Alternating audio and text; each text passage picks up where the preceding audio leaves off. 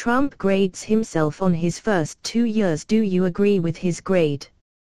What grade would you give President Trump for his first two years in office? Well, too late. Donald has already given himself a grade.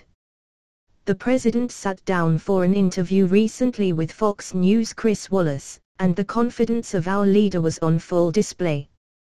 The two discussed a wide range of topics, but the last part of their interview focused on how unfairly the president has been treated by the media. Trump rightly stated that the media has often overlooked his accomplishments and hasn't given him a fair assessment based on his performance. Wallace then asked the president how he would grade himself, and his answer is sure to fire up the left. From IJR President Donald Trump gave a very confident answer when asked to grade his first two years in office.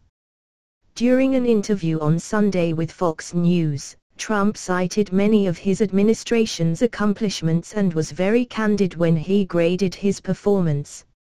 I would give myself, I would, look, I hate to do it, but I will do it, I would give myself an A+, is that enough?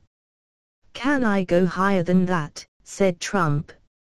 Wallace was clearly amused that the president gave himself an A+, and would even go higher if he had the opportunity but Trump's high opinion of his performance might actually be warranted, given the changes he's already made. Think about it, from North Korea to immigration to respect for our veterans to the economy, Trump really has done it all. And Donald knows he's got this country rolling. I think I'm doing a great job. We have the best economy we've ever had, Trump said.